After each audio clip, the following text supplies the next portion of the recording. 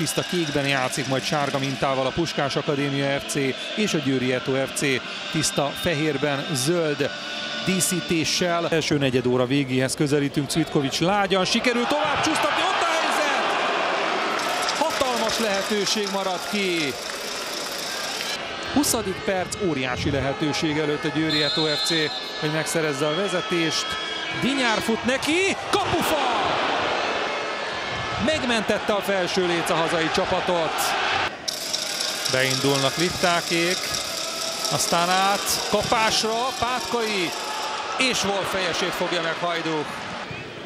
Vasics kupasszát lesi le Pátkai, Kalmár, Kalmár, gól! Vezet a Győri Eto FC Kalmár góljával. Vezet a Győri Eto FC, nem sikerült a Puskás Akadémiának kihúzni a 0-0-val. A nagy kérdés az, hogy tud-e váltani a Puskás Akadémia most, hogy hátrányban van. Denkovics lepattan, Cvitkovics előtt, belé! Majdnem itt volt az egyenlítés. 63 perc telt el. Cvitkovics mellé.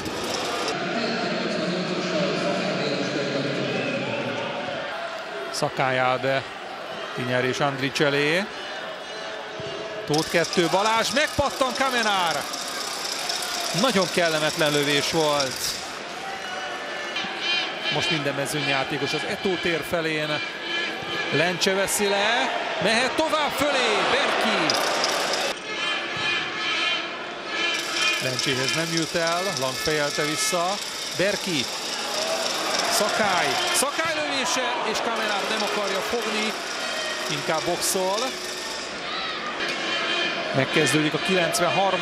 perc, tehát 3 perces hosszabbítást jelzett ugye a tartalék játékvezető.